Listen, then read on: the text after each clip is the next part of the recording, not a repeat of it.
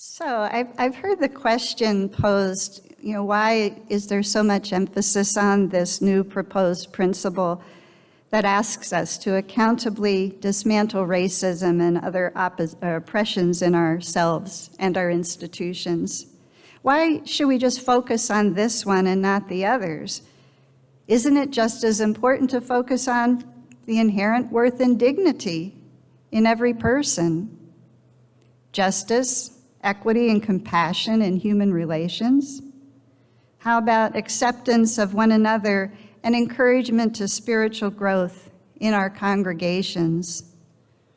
Or a free and responsible search for truth and meaning? What about the right of conscience and the use of the democratic process within our congregations and in society at large? Then there's the goal of world community with peace, liberty, and justice for all, and respect for the interdependent web of all existence of which we are a part. Of course, if we were fully living all of these principles, even fully living just one of them, the need for any additional principles would likely fade away. And yet, clearly, in the world at large, and even within our own homes and congregations, we remain aspirational at best. Paula Cole Jones is an activist, and she was a former UUA staff member. She noted that after working with congregations on issues of race and social justice for over 15 years, she realized that a person can believe that they are being a good UU and following the seven principles without thinking about or dealing with racism and other oppressions at the systemic level, she and others recognized that a corrective action was needed.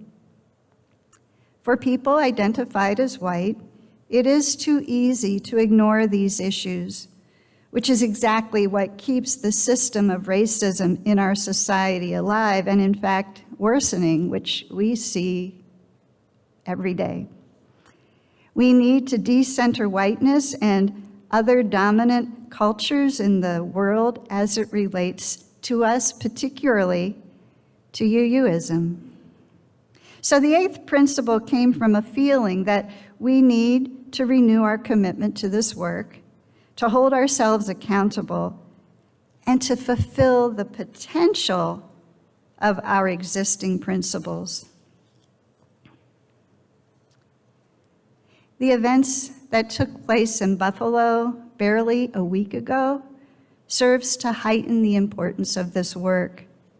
A racist, hate-filled action that was based on fear and ignorance resulted in the murder of 10 beautiful souls who died simply because of the color of their skin. I mean, this is racism in its most blatant form a form of racism that is sadly being seen again and again. The hope of a post racial world that was ushered in with the election of a black president has not yet materialized. In truth, the years since the election of President Obama have illuminated the depth of fear and ignorance that remains, as well as the unapologetic forces in our politics and public spaces that fuel this kind of fear. What happened in Buffalo last week, in Charleston, South Carolina in 2015, Charlottesville, Virginia in 2017, Pittsburgh, PA in 2018, Indianapolis, Indiana in 2021, what happened to George Floyd, Ahmaud Arbery, Sandra Bland, Breonna Taylor, and what happened to these people and so many others is what many people often think of as racism. But we do know that as horrible and harmful as these acts of racism are, just as harmful and perhaps even more insidious are the ways in which this country has been built from its very inception on systems that have had the oppression of others built into the very fabric of our daily lives. Systemic racism is so embedded in our daily life that it's often assumed that this is reflecting the natural, inevitable order of things, such as systems that impose and sustain barriers that promote good health and well being, things like access to good jobs with benefits, safe, unpolluted neighborhoods with good schools, high quality health care the ease of the right to vote, fair treatment in the criminal justice system. The list can go on. And if you live a life like I lived, that does, hasn't touched me in a personal way. But if I walk outside my doors in the city of York, this is everywhere. And it's heavy stuff, isn't it? It's hard to hear, it's hard to think about. And yet, facing the hard is what is before us at this time. So I think that it's, we can see the importance of the proposed eighth principle. And I know that the members of this congregation understood this when you voted to adopt this principle almost four years ago. You all were the 11th congregation to sign on to this principle. So the questions that I posed earlier for today are, how has the adoption of this principle changed your life? What are you doing differently than you did before? How has this faith community changed as a result of adopting this pledge? And what more do we need to do to more fully live into this declaration? We signed it, so now what? So I'm going to ask you to take a few moments to let those first couple of questions settle in. How has the adoption of this principle changed your life? What are you doing differently than you did before? And for those of you who have joined the community since UUG adopted the eighth principle, what, if anything, has this meant to you? Were you even aware of it? So just think about that for a moment.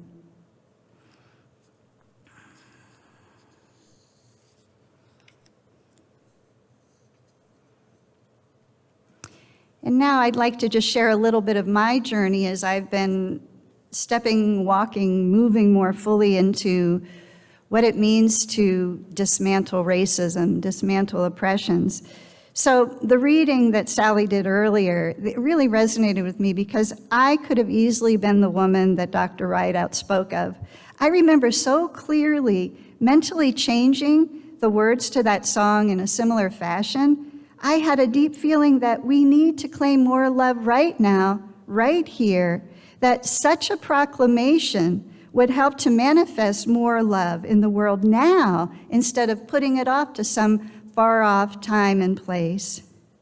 And while I wasn't the person that Dr. Rideout spoke of, I did express such thoughts in another group, and I had the uncomfortable gift of some loving pushback that expressed essentially what Dr. Rideout did.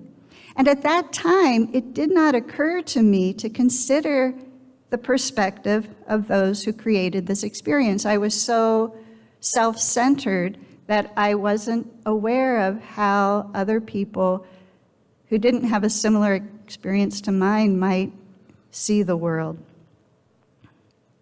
You don't know what you don't know.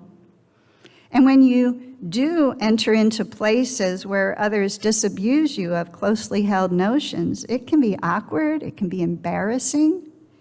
And like many of us, I don't like to feel awkward.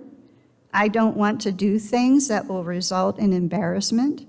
I don't want to say or do the wrong thing. But what I am very certain of is that the world as it is constructed right now has got to change.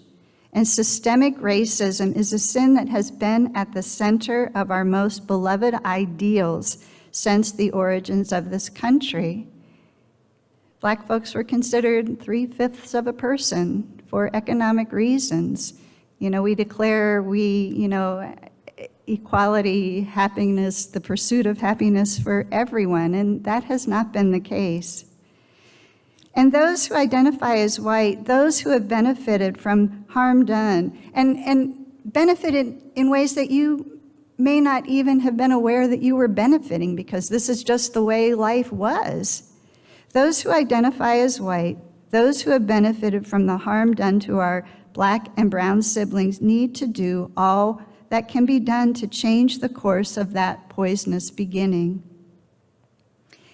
And much of what that means is listening to the voices of those on the margins, those oppressed by such systems. Listen, amplify, educate yourself, lend support, but especially listen. During my internship, I worked to bring the Beloved Conversations program to that congregation and help to facilitate it. Beloved Conversations is a program for Unitarian Universalists seeking to embody racial justice as a spiritual practice, with the intention to heal the impact of racism in our lives in order to get free together. So the attendees of this program happened to be all middle-aged or older white women, and there were times when some of them said, you know, I don't think I can say anything to anybody anymore. This response came particularly after one session that focused on microaggressions. And, you know, maybe you're all familiar with that and maybe you're not. But microaggressions are those indirect, subtle, often unintentional remarks and actions that communicate some kind of bias towards marginalized groups. Um, I mean, there's a million examples. You can Google it and find examples of microaggressions, but there are things that can be done so innocently, but have an impact far beyond what the intention of saying those words were. So the, the women in this group were coming to a conclusion that they didn't want to say or do the wrong thing, so maybe it would be better to just not say or do anything, which they concluded that really wasn't the answer either. So, yeah, doing this work on a personal basis asks us to confront ourselves, our closely held notions, our good intentions, and ways of being in the world ways that can feel uncomfortable and awkward at times. But the hope is that once we know better, we do better. For me, this journey is one of opening myself to humility, to curiosity, to grace and humor. And I'm grateful for those people in my life who continually teach me. I read as much as I can from people who are doing this work I watch movies in ways that, um, to inform me of things that I, I was not aware of. I take part in listening circles. And I recognize that this is work that is going to last my lifetime. So there was a second set of questions that I posed this morning which are how has the UUG, how has UUG as a faith community changed since the adoption of this principle? And what more do we need to do to more fully live into this declaration? So I wasn't here when this principle was adopted, so I'm going to have to rely on you all to um, help to answer this question. But what I have observed, what has changed since UUG adopted this principle, I'm aware of the conscious attention paid to the structure of the worship service to incorporate voices of our black and brown siblings each week into our services through the Blue Notes. And in working closely with the worship team, I know that there is an intention to regularly bring speakers into the pulpit who address the desire to dismantle racism and other oppressions through their words, through poetry, through music, and through their very beingness. I know that Betty Baker has been doing much with members of the faith and community team to create a pledge to end racism. And this pledge You've heard some about it. You'll hear much more about it as it, it moves along. But this pledge will strive to bring a focus to each of us regarding the importance of this work through deepening relationships with community partners, through education and outreach. So make sure you stay tuned for more information about that. And I, I've heard that there are plans afoot to organize a bus trip to the National Museum of African American History and Culture this fall. So ways to educate ourselves, ways to do it as a community, ways to bring a change in our hearts, our minds, and, and how we operate in the world. So I'm going to just ask, are there things that I've missed that anybody here or on um, Zoom are aware of? I'll just pause a minute to see if there's anything that you can think of. Anything from Zoom, Chris? Okay. So the last question I posed was, what more do we need to do to fully live into this declaration?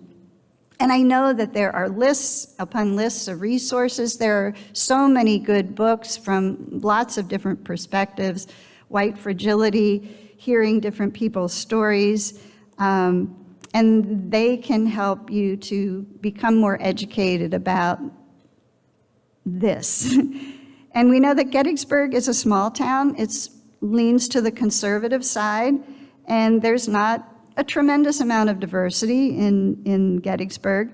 And we know that the midterm elections have Pennsylvania playing a pivotal role this year in many, many ways. So something to very much engage in is to think about how you're going to be a part of the election cycle this fall.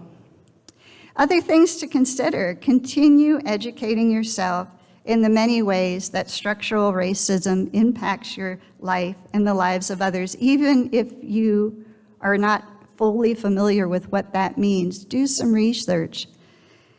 Especially important is to partner with others already doing this work, whether it's through the YWCA, the NAACP, or many other organizations, listening circles, circles of care. There's lots of, of people that are doing this work, but do it with others.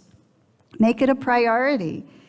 Speak out in large and small settings. When you're in family gatherings and somebody makes those jokes, you know, rather than laughing along, just say, ooh, huh, that kind of hit me the wrong way. You know, when you're in a public place, and it, it takes courage, it takes a willingness to get some of that pushback.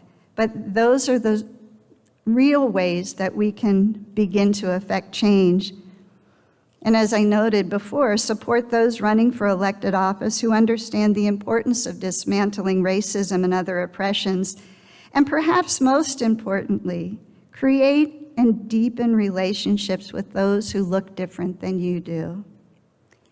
We need each other more than we know, and we have to know each other to really grasp the importance of that.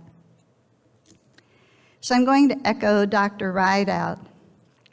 When we inhabit the music, the forms of expression of people who lived their lives along the margins of notice, we must notice that we have entered holy ground, a sacred space of learning, a sacred space of relationship.